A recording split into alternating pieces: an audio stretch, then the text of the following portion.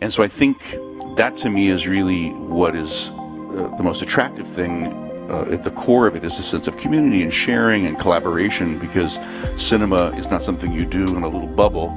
You do it with yes. a team.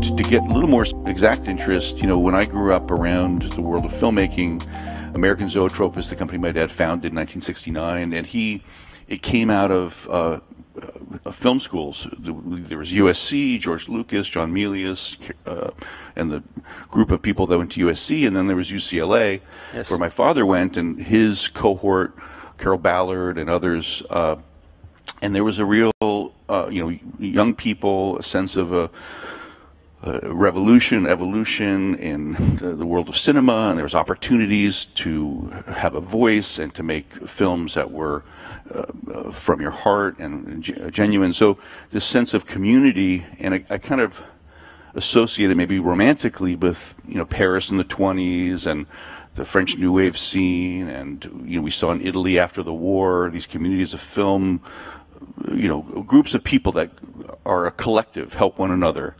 Uh, you know, Fellini was the assistant director for Russell. You know, these different connections, people helping one another, and so I think that to me is really what is uh, the most attractive thing.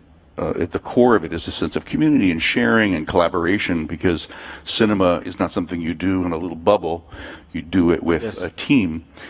And that's uh, sort of at the heart of our project to sort of see this a collective uh, gather around or many collectives uh, using this new wonderful tool.